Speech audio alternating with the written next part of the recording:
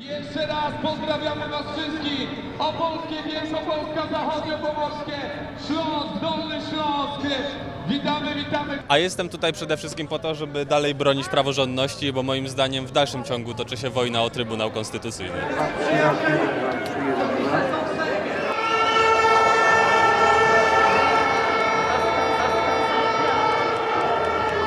Zgody na to, co PiS robi z naszym krajem, który jest naprawdę super, e, a w tej chwili wszystko w niwecz się obraca.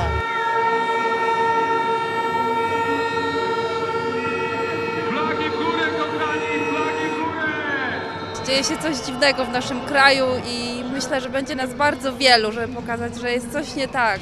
Nikt na wolności nie zabierze dzisiaj!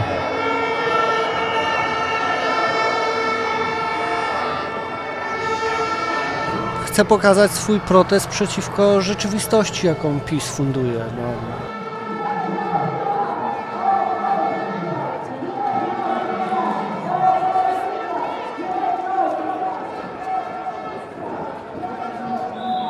Jestem dlatego, ponieważ chciałabym, żeby moje dzieci wychowywały się w kraju, który szanuje wolność i różnorodność obywateli.